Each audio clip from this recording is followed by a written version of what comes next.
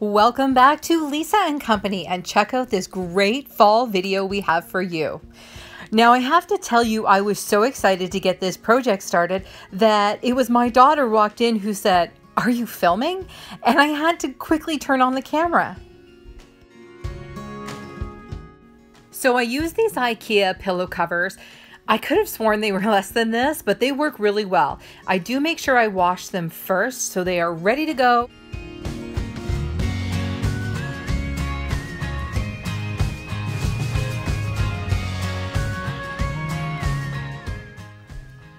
Now, I promised myself I would not fall prey to this cute little vintage truck, but I did. I know it's everywhere and I didn't want to use it on my porch or in my fall decor this year, but I got this little pillow at a thrift store and then I found it on my Cricut and well, the rest is history.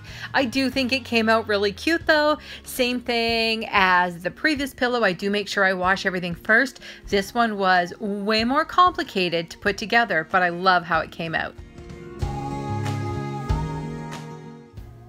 If you are following me on Facebook, you had a hint of what I was working on the other night. Props to our follower Anika, who figured out exactly what this quote was when I posted just a snippet of it on Facebook. If you're a fan of Anne of Green Gables or L.M. Montgomery, you probably would have guessed this one right away. I don't go in for the, you know, grateful, thankful, blessed. If you want that, absolutely. It's just really not my thing. But I do love fall. It is pretty much my favorite time of the year. So when we decided we needed a new sign for the porch, we decided to go with something that was near and dear to our hearts.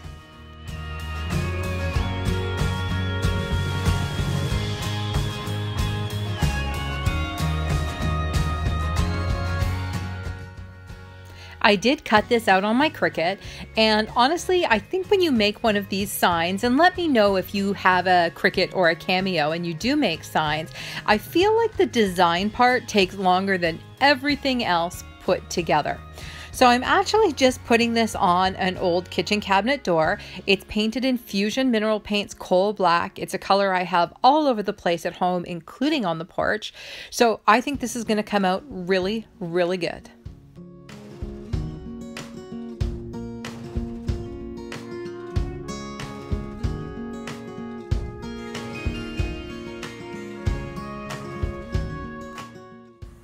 So, did you read the Anne of Green Gables books when you were younger? Let me know in the comments if you were a kindred spirit and you were obsessed with the Anne of Green Gables books too.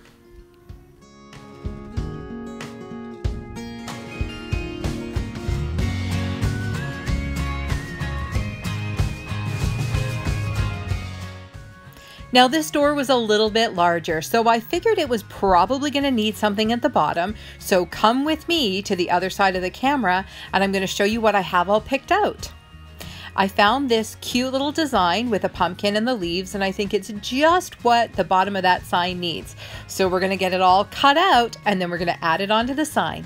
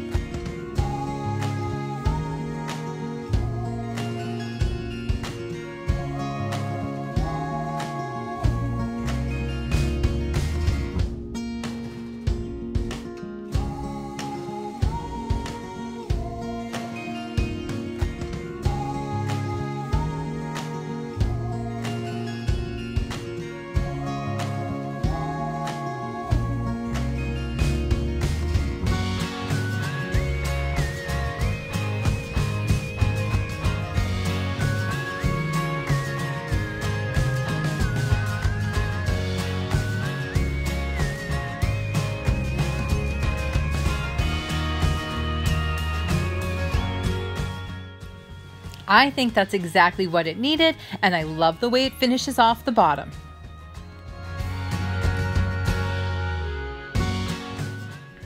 Another fall series complete. This one was a little bit more personal than some of the others. I do love that little vintage truck, even though I said it was going to make it into our decor this year. And the pillow, well, that was something my daughter and I came up with together. We're grateful for our home and family. I think that says it all.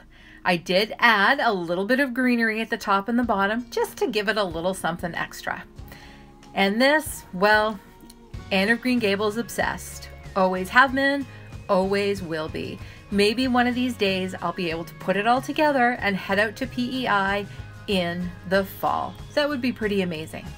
I really hope you enjoyed this video and we hope we see you next time. Don't forget to hit that notification so you know every time we upload a video. Bye!